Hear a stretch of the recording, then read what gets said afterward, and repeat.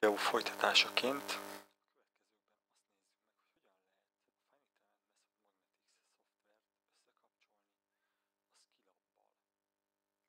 hogyan lehet a SkillUp segítségével a FEMM programot használni különböző függvények meghívásával. Ahogy itt a szlájdon látható, ennek ehhez annyit kell csinálni, hogy a SkillUp-ban írt programunk elejére oda kerüljön ez az exec, az elérési útja, az abszolút elérési útja, ennek a skifem.ski SCI vagy SKI kiterjesztésű scriptet hajtsuk végre a program elején, innentől kezdve meghívhatók lesznek a FEM függvényei. Az, hogy milyen függvényekről van szó, a honlapon a dokumentumok között van az Octave FEM reference menu áll, ebben lehet megtalálni a függvényeket, azoknak a leírását, mik ezeknek a argumentuma, illetve mi a kimenet. Itt látható ez a dokumentum. Ahogy már az előző videóban lehetett látni, ugye megoldottuk példánkat,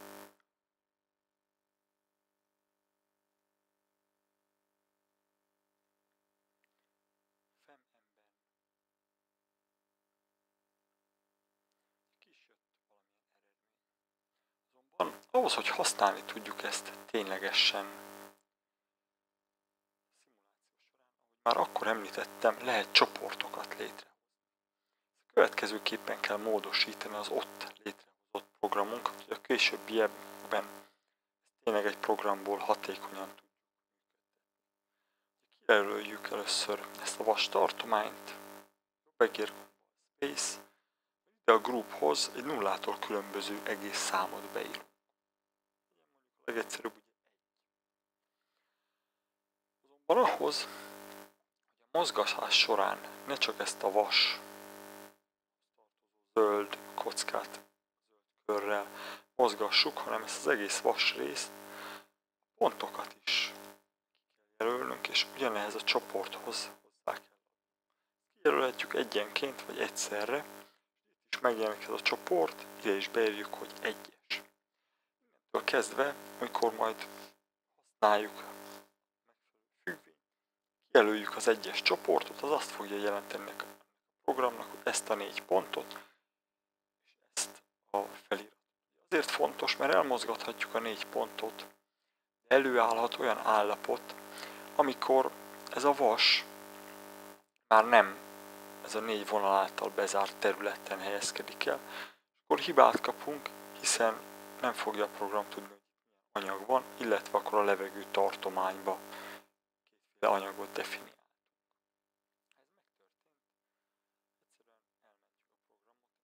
Zárhatjuk. A következő, hogy itt a programnak a pseudokódja látható, hogy ne legyen olyan egyszerű a feladat. Látható, az első sorban itt szerepel az exec,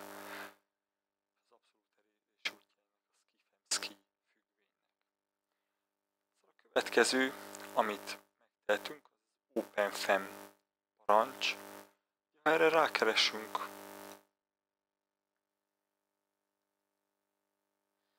ez mit jelent, meg is találjuk rögtön. Start an OctaFem session use the OpenFem function, illetve itt van alatta a CloseFem, bezárja a grafikus ablakát.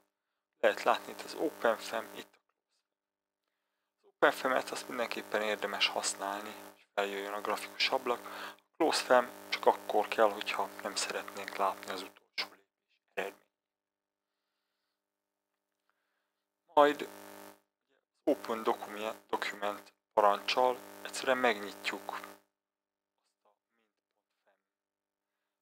mint.fem fájlt, ugye, amit az előbb szerkesztettünk. Majd célszerű alkalmazni mentés másként parancsot. Ezt amiatt, hogy ne amint fennben hajtsuk végre a mozgatást, mert ez azt eredményezi, hogy ha mindfemmen végezzük el a mozgatást, akkor az utolsó lépésben, ahol megáll a vasrész, lesz az következő állapot, amikor megnyitjuk. A program újrafuttatása esetén adott esetben bizonyos paramétereket újra kell majd ez már a hallgatónak a feladata, a vasrész elmozgatása a kiindulási pozíció. Javaslom, itt van a dokumentáció, például rákeresünk arra, hogy move, látni, hogy talál olyat, hogy move rotate, adott pont közül, körül szöggel elforgatja. Move rotate 2, sőt, itt van, hogy például nekünk kell az elmozgatáshoz, a move translate, és megadjuk, hogy x és y irányba mennyire szeretnénk y kell változtatnunk, pontosabban ugye értelemszerűen, ahogy az előző videóban elmondtam, az X tengely hengerszimmetrikus feladat esetén az R tengelynek felel meg, a Z tengelynek, és ugye ez a mozgó rész a Z tengely mentén eljárni. A paraméterek inicializálása, ez egy kis programozási gyakorlat, megadom, hogy FR adott méretű oszlopvektor, sorvektor FZ-re ugyanez vonatkozik. Definiálok egy pozíciót, adott esetben ez a pozíció vektor lehet. Megadom, hogy mekkora az elmozdulás nullától, mennyit változzon, ezt hány lépésben tegye meg. Az én esetemben egy for ciklust használok, ezt lehet egy while ciklussal is megoldani lehetőség van arra, hogy hogyan oldjuk meg. Megoldom a feladatot, az eredményeket be kell tölteni, majd a vasrészt kiválasztom, és kiszámoltatom rá az FR és FZ komponenseket. Majd a vasrészt új pozícióban mozgatom, ismét megoldom, és ezt így egészen addig csinálom, amíg a lépésszám el nem éri. El nem éri a lépésszám érték bezárhatom, és következhet az, hogy megjelenítem az eredményeket, kiiratom grafikus ablakra, adott esetben már itt a for ciklus során is ki lehet iratni az eredményeket. Erre nagyon sok lehetőség van, érdemes ugye az FRRZ vektorban minden i iterációnál kiiratni az eredményt, hogy a későbbiekben ezeket lehessen használni, ne kelljen mindig újra futtatni. Illetve található magához a programhoz a YouTube videó, ugyanúgy, ahogy az elektromágnes szimulációjához is. Itt, itt is, könnyen megtalálható legyen. Én már előre elkészítettem a mintaprogramot, hogy nem most kelljen csinálni. Teljesen ugyanaz, slide-on látható, annyi finomsággal ugye törlöm a képernyőt, törlöm a változókat, ugye kiolvastatom parancsal az aktuális könyvtárat, és onnan nyitom meg ugye utat kell Lehet látni, itt is van az Execute, kiválasztom csoportot, elmozgatom, definiálom azt, hogy teljes elmozdulás, meg hány lépést tegyen. Inicializálom az FRRZ és a pozíció vektor. Következik a for ciklus. Kiszámoltatom az eredményt, betöltöm az eredményt. Majd kiválasztom az egyes csoportot, ilyenkor zöld lesz az a blokkom, kiszámolom rá FRRZ paramétereket, Rákeresek itt arra, hogy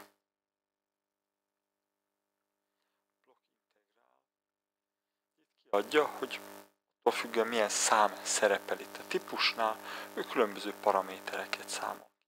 Nagyon fontos megjegyezni, hogy egyik másik képletnél szerepel, a programon is lehet látni, kettővel meg van szorozva. Ennek oka, az az, hogy itt lehet látni, hogy a 20-as az az R komponens, a 21 a Z. És amit kiszámol, az az erőnek a fele lesz. ezért be kell szorozni kettővel, hogy a tényleges erőt kapjam meg. Ugyanez igaz például a Lorenz erőre, Lorenz nyomatékra, illetve súlyozott, vagy ez a feszültségtenzor módszer által számolt mennyiségekre írja, kétszeres szorzóval kapjuk, kapunk megfelelő eredményt, ha ez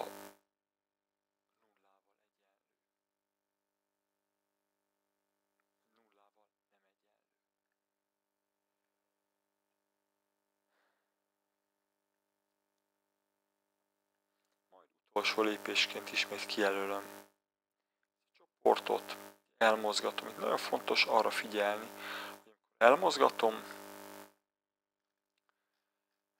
akkor mindig teljes lépésnek, teljes elmozdulásnak csak egy szegmensét mozgassam el, hisz itt mindig csak annyival mozdul tovább az eredmény. Ahogy lehet látni, kiíratom minden iterációban az irányú erő eredményét, majd vége a ciklusnak bezárom a grafikus ablakot, és kirajzoltatom az erőt az függvényében. Ha elindítom, akkor ha helyesen működik ez a Shared Archive Loaded, Link Done. Ezt kell látnunk, és lehet látni, elvileg az asztalon látjuk, hogy néha megjelenik a számolós eredmény. Azért, hogy a videó ideje ne azzal teljen, hogy hogyan számolja ki a gépem az eredményt. Azonban itt lehet látni, hogy tényleg maga a program lépésről lépésre elmozgatja azt a részt, megjelenik a szimulációs ablak, hogy kiszámolja az új lépésben, kijelöli a tartományt, kiszámolja rá az eredményt. És ezt itt szépen iteratívan lépteti, és úgy lehet látni, lépésről lépésre halad nekünk, míg el nem éri azt a 17,8 mm, definiáltunk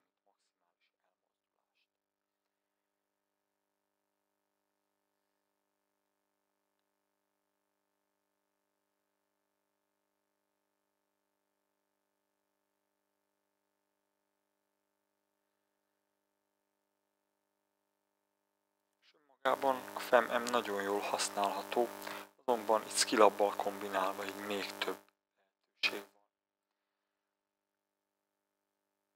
Különböző szimulációkra és időben léptetni lehet látni, kirajzoltattuk a Z irányú erőkomponens, az R irányúra.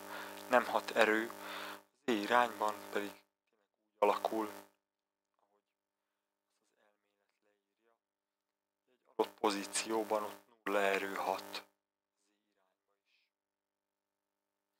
erre a mozgó részre. Azon kívül ugye, ha fölötte van, a tekercs fölé kezd mozdulni a vasrész, akkor próbálja visszahúzni, ha alatta van, akkor pedig próbálja ebbe fölfelé, lefelé vasrészre.